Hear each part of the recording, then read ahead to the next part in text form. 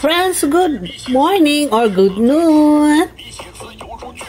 This is my lunch.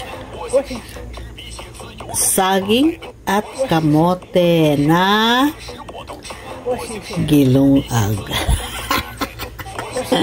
Tapos, ang protein ko niyan, basta kani ako ang kauno ron. Pag linuag na ah, mga friends, lami kay na. Lami. No? Ay, luto ka ayos tanan. Tapos ipahid na ako sa margarine. Gamay na. Oh, sulbad na ah. Paniod to. Kaon ba maani? Kamuting saging? Mm. Tapos magsalad ko kamote taps and okra.